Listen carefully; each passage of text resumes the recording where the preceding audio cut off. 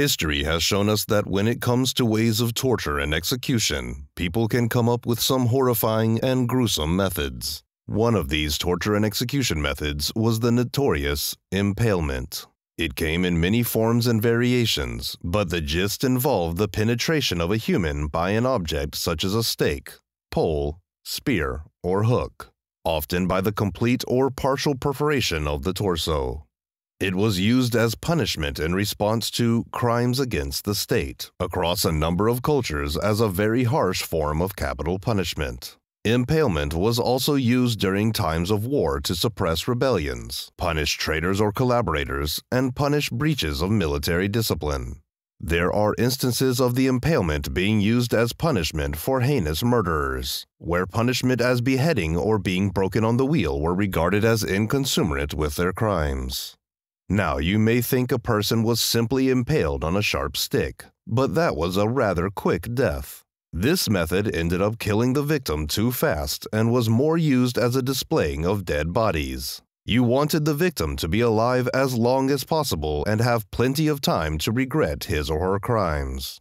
This is why you would use a smooth, thick pole with a narrowed end, but blunt. One end of the pole would be embedded firmly in the ground. The pole and the entry point are then smeared with fat or grease. The victim is held above the pole and placed down on it. Now the victim is lowered down until they can stand on their feet or tiptoes.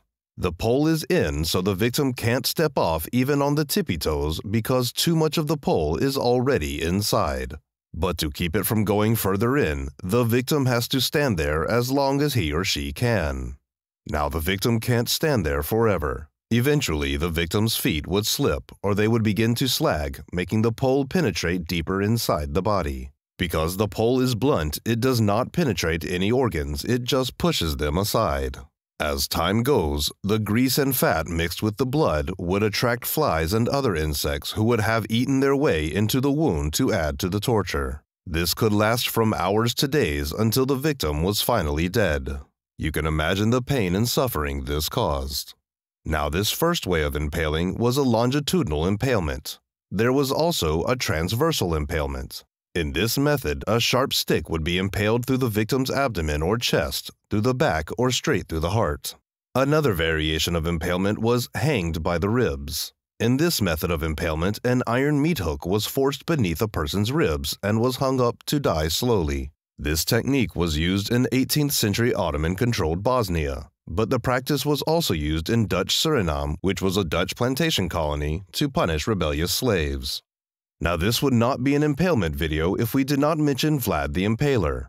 During the 15th century, Vlad III, also known as Dracula, Prince of Wallachia, is credited as the first notable figure to prefer this method of execution during the late medieval period, and became so notorious he was given the nickname Vlad the Impaler. Following the multiple campaigns against the invading Ottoman Turks, Vlad would never show mercy to his prisoners of war. Most of them would suffer impalement. The capital of Vlad's Principality of Wallachia would eventually become inundated in a forest of 20,000 impaled and decaying corpses. Vlad's victims were impaled from either the frontal or the rectal impalement method, which consists of a wood or metal pole being inserted through the body, either front to back, or vertically through the rectum or vagina. The exit wound could be near the victim's neck, shoulders, or mouth. He was known attending mass impalements while feasting and drinking, watching the whole gruesome ordeal that was happening in front of him. Now remember, this is one of only many torture and execution methods of the past.